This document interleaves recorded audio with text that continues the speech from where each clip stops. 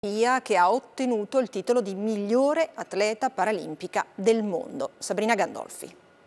Mai partecipare, tu devi dare il massimo, non conta sopravvivere nella vita, conta vivere. Con i 2113 punti delle World Series, Monica Boggioni, 19 anni, diventa la migliore nuotatrice paralimpica del pianeta. Non so, forse c'è ancora tempo per dimostrarlo e spero di, di poterlo diventare nel tempo. Studia biotecnologie, sogna di aiutare la ricerca e si porta con sé una maturità classica che incide sulla sua forza e sulla sua splendida visione del mondo. Penso che alla fine la dialettica di Hegel si possa un po' come dire, rispecchiare in quello che poi è il motto della federazione Ital del, del, movimento paralimpico in cui dice che dove non arriva il corpo arriva la mente, dove non arriva la mente arriva lo spirito. Nata con una displegia spastica che colpisce le gambe, detiene 5 record del mondo e uno europeo nella sua categoria e si prepara per i mondiali messicani di dicembre. Non molla mai come i suoi genitori che si fanno ogni giorno parecchi chilometri per permetterle di allenarsi perché Pavia, la sua città, non ha una corsia in vasca disponibile possibile. Devi ringraziare chi ti sta intorno, se no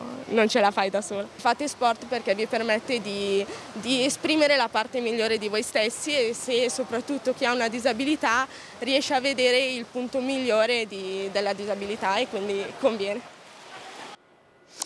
Il calcio, Serie A, la Roma ha battuto la Lazio 2 a 1 nel derby della capitale, primo anticipo della tredicesima giornata di campionato. E Cori e Slo